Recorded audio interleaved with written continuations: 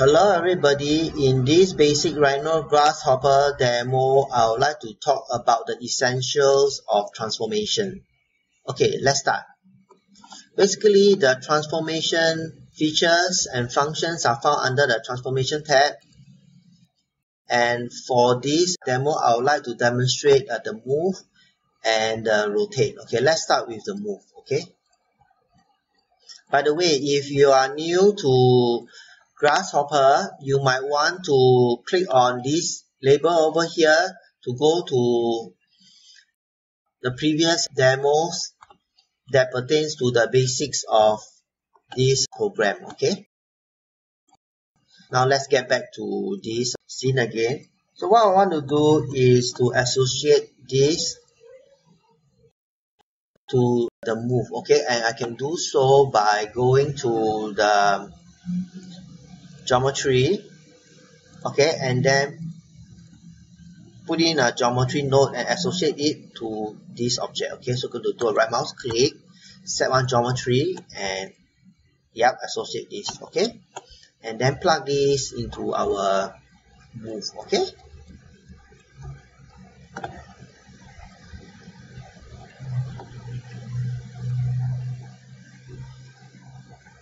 Okay, the next thing I want to do is to specify the motion over here. Okay, I can do so by putting a vector component and plugging it into the motion. Okay, basically our motions are associated by vector component. Okay, so let's go to the vector and there are several type of components you can use as our vectors. Like for example uh, the vector xyz unit x unit y and unit z. Okay i'm going to put this in okay? By the way a vector is a unit that have direction and magnitude. Okay over here it might look like a point but it's not because uh, it have this information of magnitude as well as direction okay so what I'm going to do is uh, let's plug this over here. Okay, and then I want to move this object in the Z direction. Okay, so I'm going to put a slider. Okay. And now you can see that a new copy of this object has been moved two units in the uh, Z direction. Okay, here lies a peculiar characteristic of Grasshopper. That is that any transformation that is being performed will not remove the original object. As you can see over here, this is the original object. What happened was that a transformation is being applied and you can see that the transformation um, being displayed here. However, the original object remains. Okay, this characteristic of grasshopper can be put to good use in the sense that we can use this aspect for object proliferation. That means that we can use it to make duplicates of modified versions of this original object. Okay. Okay, what if I want to create like a bunch of object instead of uh, just uh, one? Okay, we can do so by using something like sets okay? By the way if you are not familiar with sets you might want to again to this over here go to the sets tutorial to have a better understanding of the sets essential. Okay so but let's head over here and what I'm going to do is I'm going to drop in a series component okay? And I'm going to put a panel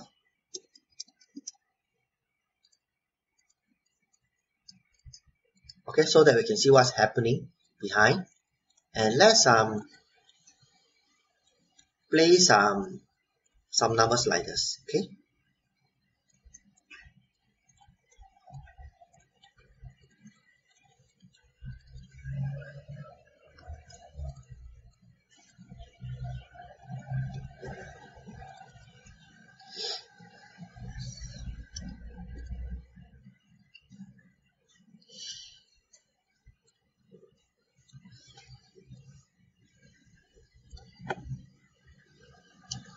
Okay, gonna make some duplicates. Okay, I maybe I'll set the the start to zero. So let's plug it over here. The steps, let's say I set it to uh, 2, plug it over here, and the count, uh, let's leave it as 9, okay? And then what I'm going to do is I'm going to plug our result. You can see over here, it has created a series of numbers from 0 to 16, okay? Into the Z component, okay? And you can see now what we have is like multiple move being transformed on the original object, okay?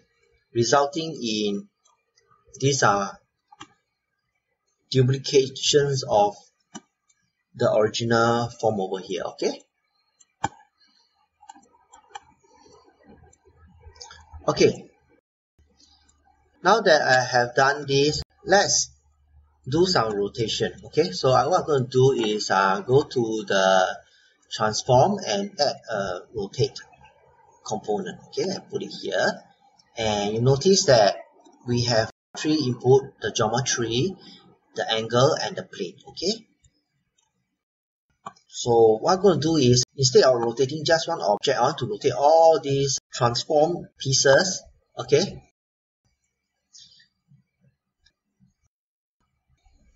at this geometry over here, I'm going to plug here. And then as you can see now, there are some kind of a rotation being performed. And as mentioned earlier, the original stuff, in this case here, this this stays, okay?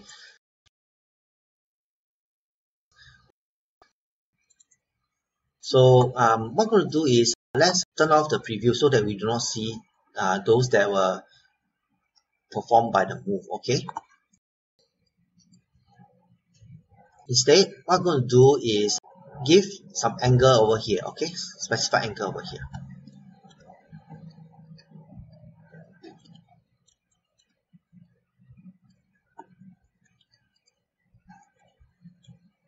okay by the way this angle is in radians okay? The original one is in radians. If you want to convert it to degree you got to do a right mouse click and uh, activate this okay? Or another way is to actually type radians okay?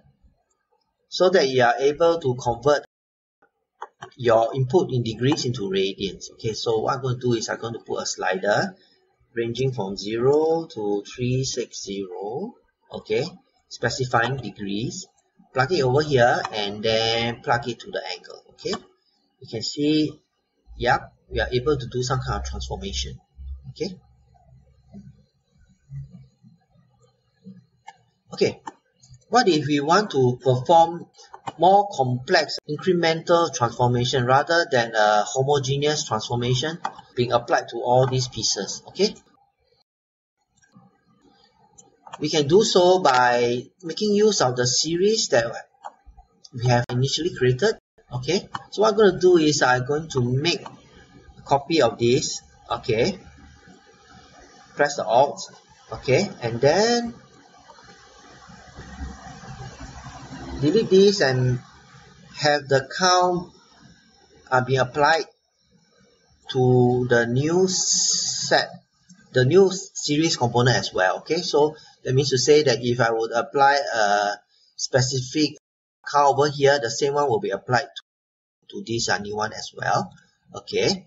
And then let's put a panel. Okay. And plug this over here. You can see over here what we have is like a series of numbers which can represent for example the degrees okay okay so uh, what I'm going to do is I'm going to delete this and plug this over here. And let's set this to a new range okay? Let's say I say uh, to 360 okay? So now this is in degrees okay? So you notice now if okay let's let's um set this to 10 let's say for example and you notice that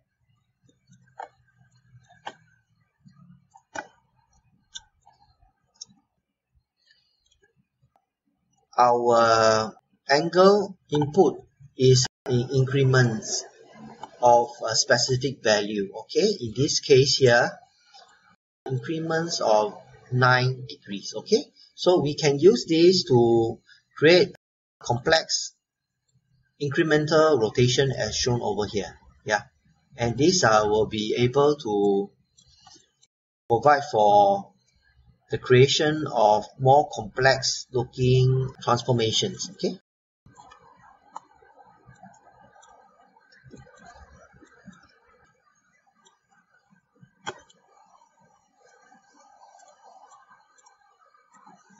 I can even change this to let's say a floating point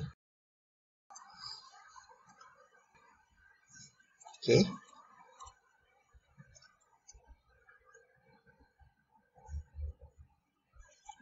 Yeah so you can have like subtle kind of rotation effect. Okay.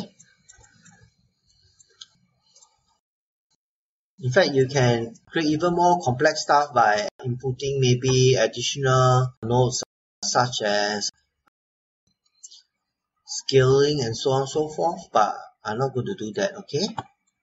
The whole idea is that uh, we're able to see how grasshopper can be used to create complex geometries via the transformation features okay?